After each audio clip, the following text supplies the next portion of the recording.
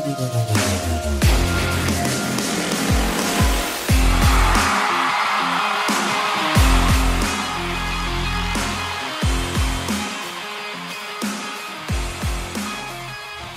right, everybody, settle down. Settle down. I mean, you did not expect the Colts to win nine straight games to end the season, did you? Did you? I mean, if you did, listen, more power to you. Even I, one of the most positive Colts fans you're ever going to meet in your entire life, did not have it in me to be that positive. I mean, we were bound to lose a game eventually. Let's be realistic, right? let's be adults here. Now, all hope is not lost. The Colts, as it stands today and going into week 15, are still in the playoffs. They are the seventh seed. Now, yes, there's a lot of season left to play. We absolutely must, must beat the Pittsburgh Steelers this week. But we are the seventh seed nonetheless, as it currently stands. Now, this is a provocative title. Of course, it's done on purpose.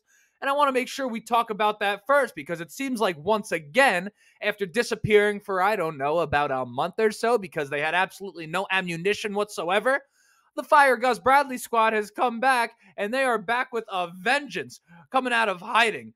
Now, am I going to sit here and say that Gus Bradley's defensive scheme doesn't deserve a conversation at all? No, of course not. In fact, I'm saying quite the opposite by titling the video the way it is and coming to you with this discussion to start the episode. But I want to make sure that if we are going to have the discussion, that we have all the facts straight here. So, one thing before we do this, I do ask because you know, particularly if you've been here for a while, that I am in the comments section, maybe even unhealthily so, right? And I'm going to look at your comments. I ask if you share your opinion, that you at least hear me out before you do it in regard to Gus Bradley, because quite frankly, I just I don't want to have to explain myself twice. So I want to start this off with a question for you, and really a rhetorical one. You don't have to answer it, I'm going to answer it. What exactly do you expect Gus Bradley to do in a game like this? Now, we can sit here and whine about this pass rush all we want. The Colts, even after not recording a single sack, versus the Cincinnati Bengals are tied for third in the NFL in sacks. They are tied for fourth in interceptions. They're tied for sixth in fumble recoveries, and they're amongst the top of the league in strip sacks. Had you ever stopped to just consider when we talk about the Colts and their coverage, if that is your issue, which I believe that's everyone's issue, is that we're playing a soft zone or whatever that is, right? You ever stop to think that perhaps we just don't have the horses to cover? I mean, Jaylon Jones, who we love, I think he has overachieved. It would really overachieving would be the understatement of the century.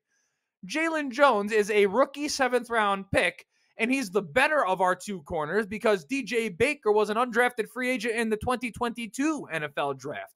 You take into account Isaiah Rodgers to start the season, bet the other team's money line. Dallis Flowers, before he tore the Achilles, I thought was looking good on this defense. And then, of course, Juju Brents and his impending return, he was starting to look not just good, but like an absolute stud, like potentially shutdown corner in this Gus Bradley system. So when you add up all of those components, how exactly can you be surprised and blame Gus Bradley for the fact that the Colts can't cover worth a lick, particularly against a team that has Ja'Marr Chase and Tee Higgins on the outside, let alone you know, Kenny Moore obviously was covering him, but Tyler Boyd on the inside. I mean, if your four man pass rush has been good enough to be one of the premier pass rushes in football 14 weeks into the season, and you're having a tough time covering against a team that's beating you in the short passing game, the quick passing game, the screen game, why in the hell would you take more people out of coverage, which you already are struggling to do, to come in and blitz? Doesn't that to some degree sound like addition by subtraction? I mean, am I missing something here? You're aware that the short passing game and screen passes are designed to beat the blitz, right? You're aware of that? I, I mean, you might not be. Now, listen, is, is that to say that there are no adjustments to be made over the course of a game? No, of course not. I mean, clearly the Bengals found something with those screen passes. The Colts looked completely unprepared to cover those. Now, EJ Speed so often is the type of guy that comes in and cleans up those plays. But to sit here and make it like you are some sort of defensive guru calling for Gus Bradley's job and suggesting that if he just blitzed more, that all would be fixed. When in actuality, blitzing would have been playing exactly into what the Bengals were doing offensively. I mean, you can just save your breath and say you don't know much about the game of football and call it a day. You don't have to sit here and insult Gus Bradley and call for his job and all those things because if he did blitz and then got burned on that, you would have been coming at him from a different angle the same way. You're just looking for a convenient scapegoat. It's what so many of you like to do. It's it's what I hope to change over here is to create more rational Colts fans, right? Because it's not like the Colts had no pass rush in this game whatsoever. Now, sure, it may be nowhere near what we've been used to, but again, we've been one of the top pass rushes in football. So to not have that on a given day maybe looks bad, but I mean, when they did get the pressure on Jake Browning, he was absolutely sensational. I felt like every time we had any form of pressure on the kid, he stood there strong and made a killer throw over the middle of the field, or at least made a good decision. And realistically, most of the time, it was both a good throw and a good decision. So you got to give credit to him.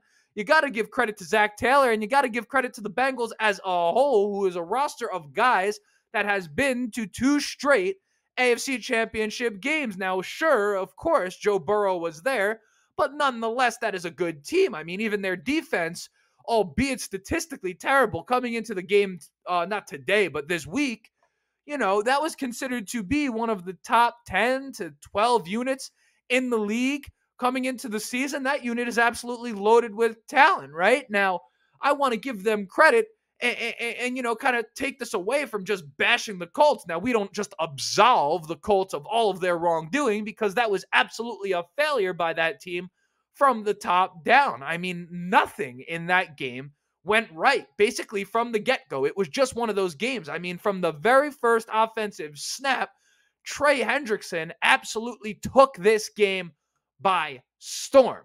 Bernhard Raimann, who has really been nothing short of awesome for us at left tackle, was getting punked absolutely all day by Trey Hendrickson. I mean, Trey Hendrickson grabbed him by his ankles, flipped him upside down, shook his lunch money out of his pockets. Trey Hendrickson handled that dude. I don't expect that to continue. I think Bernhard Raimann has built quite a body of work in his short playing career with us for us to give him the benefit of the doubt moving forward that he's going to play better than that. I mean, even Ameer Speed bumping into Isaiah McKenzie a week removed from special teams winning us the game. I mean, Lord, to have stuff like that happen, I mean, sometimes it is just not your day. But even with everything I just mentioned, if Matt Gay is to knock down a 38 yard field goal early in that game and Quenton Nelson doesn't get a bogus holding call, and I never, ever complain about the refs, even after the Browns game, I was the one guy talking about all the things the Colts could have done to avoid that situation entirely. I mean, I of course the Colts got robbed against the Browns, but they never had to be in that position to begin with, right? I always take that stance. That was a touchdown by Zack Moss. You look at that replay, that was not a hold by Quenton Nelson. So if Matt Gay makes the field goal and the touchdown stands for Zack Moss, even in a day like this, where the Colts played maybe their worst game of the season, that would have been a situation where the Colts were only down seven. It would have been 31 to 24 with about nine minutes left in the fourth quarter. And perhaps after all is said and done, if those things work out for us, we're having an entirely different conversation. So to sit here and call for Gus Bradley's job after this loss, after a four game winning streak where the defense was playing really damn good for most of the time, and, to slander Gardner Minshew, I mean, Lord, it's just such a reduction such a shallow reduction of what just happened in that Bengals game. And it just reeks of overly emotional revisionist history that I suppose really all NFL fan bases take part in from time to time. But I absolutely hate to see our fan base take part in it because ultimately, intimately, you guys are the fans that, that you know I'm invested in, right? But lucky for you, I, the voice of reason, am here to spread truth and rational thought. So we are going to talk about what really lost the Colts that football game because it was not Gus Bradley that did it.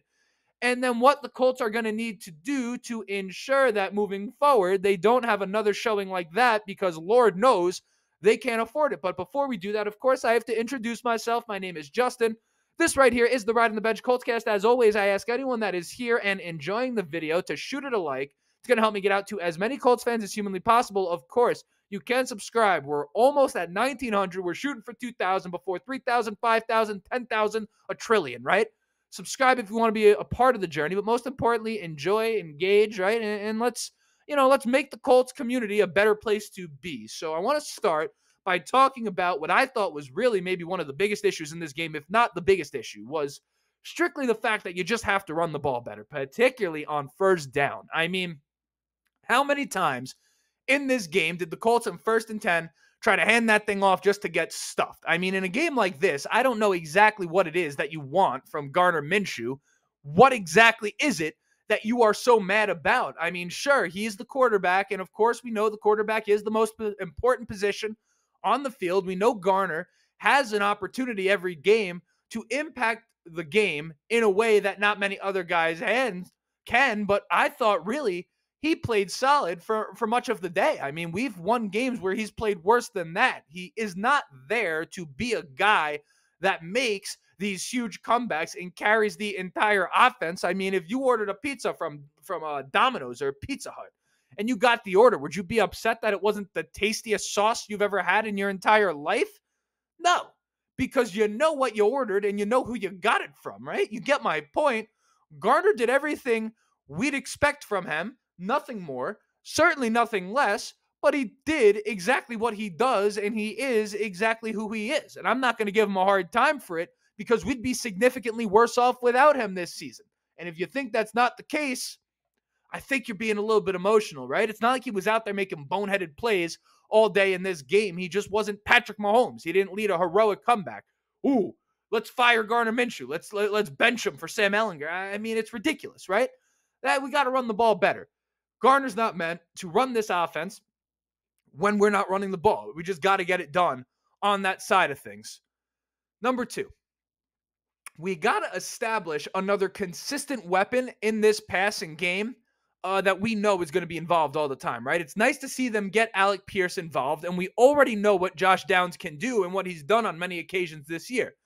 But other than Michael Pittman, there is no one in this passing game that you are 100% sure is going to be a key part of it on a week to week basis. There's no one other than Michael Pittman that defenses look at and say, man, if we don't pay attention to that guy, he is going to kill us all day. The Colts have not established that consistent presence. I mean, someday this week, Will Mallory had five receptions. We saw a stretch where Josh Downs was doing it. Kylen Granson comes up. Listen, you can get it from a bunch of different places, but that's got to change in terms of the other team has to know who it is because you got to keep them guessing and you have to give them one more player specifically to worry about on a week to week basis because something like that can cause a chain reaction that opens up the entire offense. And if it were me, if you were asking my opinion as to who that would be, I think it's got to be Josh Downs, just with how well he and Minshew, just their connection has been from the start of training camp, how well their skill sets naturally work together with Josh Downs being a chain moving type of guy, Gardner Minshew being a short to intermediate passing game type of quarterback, their skill sets fit together perfectly well. Three receptions this week, three receptions the week prior against the Titans. That's not going to cut it for Josh Downs. I hope they get back to what they were doing during that, I don't know, month, month and a half stretch. I'm just estimating. I didn't look at it.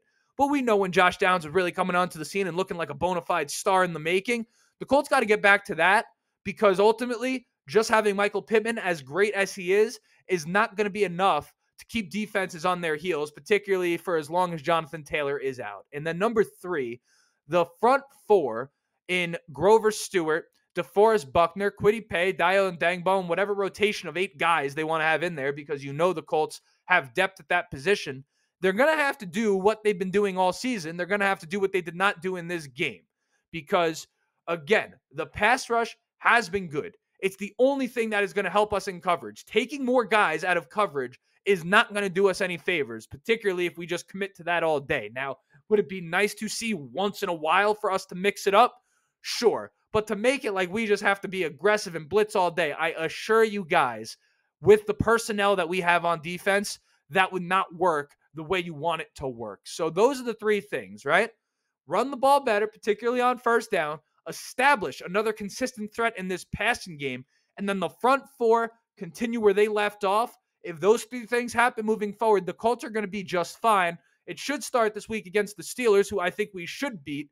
This week, I did not predict a win against the Bengals. I didn't predict anything at all. In fact, the big theme in my last episode was we're bound to lose eventually. And in part, not to just sit here and be the Monday morning quarterback, or I guess in this case, the Tuesday morning quarterback. I, was kind of thinking that we might lose to the Bengals. The Steelers, despite a shoddy history against them, I feel like we should win that game. I just have a feeling that the Colts are going to respond well after a game like this. They just seem to respond well to adversity with Shane Steichen in charge. But again, we're not going to know until we play this game against the Steelers. The good news is, I think we match up well. The somewhat bad news is the Steelers are in the same exact position as we are in this game. Whoever loses this game has such a tough road to the playoffs. They both have everything to play for, and we're going to see exactly how that goes. But that right there was the entire episode. Until next time, my name is Justin. This right here was the Riding the Bench Coltscast. Like, subscribe if you have not yet. But most importantly, go Colts.